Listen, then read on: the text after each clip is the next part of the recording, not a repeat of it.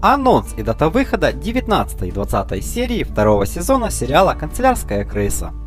Финальные серии второго сезона сериала «Канцелярская крыса» выйдут на телеканале НТВ 25 октября. В новых сериях мы увидим, как Джамал со своими людьми совершает нападение на скорую, рассчитывая устроить побег брату, но вовремя подоспевший Губин дает кавказцам отпор, и те гибнут в перестрелке.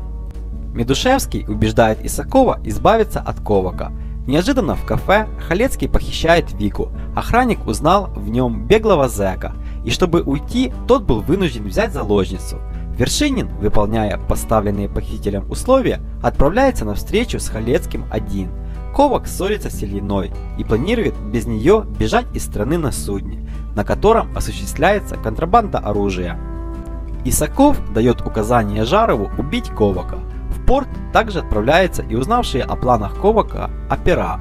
Переведя все стрелки на Ковака, Медушевский, казалось бы, вновь ускользает от правосудия. Но Вершинин и его команда не сдаются, тем более сотрудничать с полицией соглашается Халецкий. Напомним, финальные серии выйдут 25 октября на телеканале НТВ. Ставим лайки, подписываемся на канал, жмем на колокольчик, чтобы быть в курсе последних новостей о российских сериалах. Спасибо за подписку и лайки.